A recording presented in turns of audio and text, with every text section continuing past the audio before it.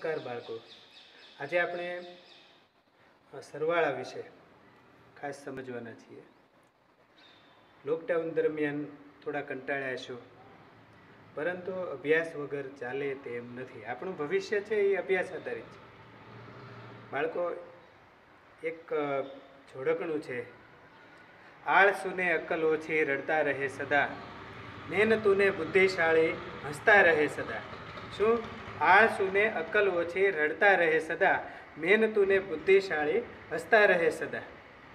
આપણે હસતા રહેવાનું છે, મહેનત કરતી રહેવાની છે અને બુદ્ધિને બરાબર કસવાની છે અને એ ધ્યેય સાથે આપણે સરવાળા છે તે આજથી શરૂ કરશું. બહુ મજા આવશે. ચાલો, તો આપણે સરવાળાની વાત કરીએ, તો સમજો, આવી રીતની કોઈ રકમ છે? સમજો કે આ કોઈ રકમ આપી છે? પિસ્તાળીસ વત્તા બત્રીસ. આવી કોઈ રકમ આપેલી છે?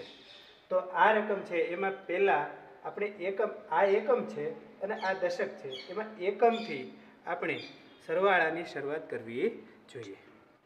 જુઓ, એકમ છે, અહીં એકમ પાંચ છે, ઉપરની રકમ. નીચેની રકમમાં એકમ શું છે? બે છે. પાંચ રકમ જે ઉપર પાંચ છે, એટલે એક, બે, ત્રણ, ચાર અને પાંચ. આવી રીતે વેઢા ગણો.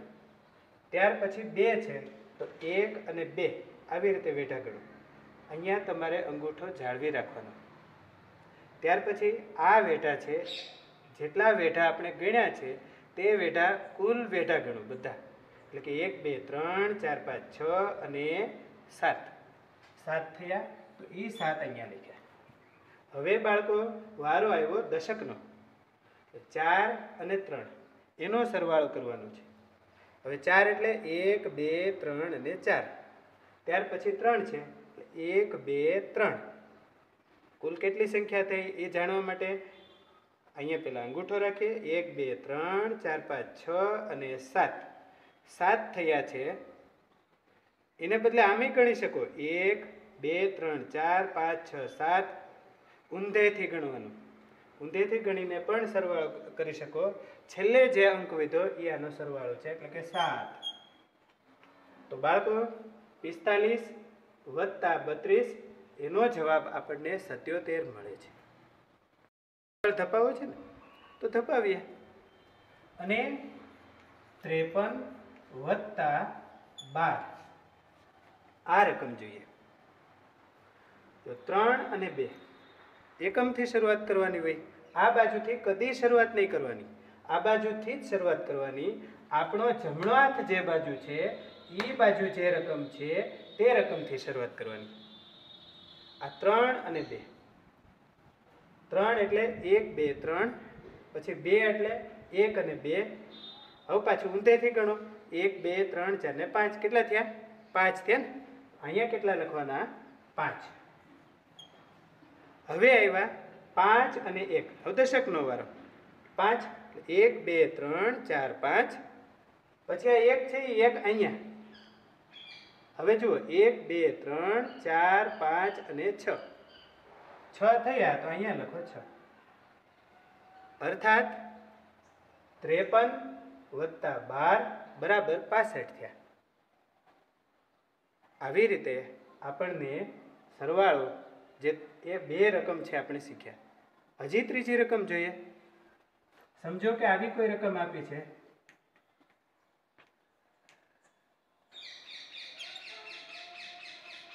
આવી કોઈ રકમ આપી છે. આને શું વંચાય?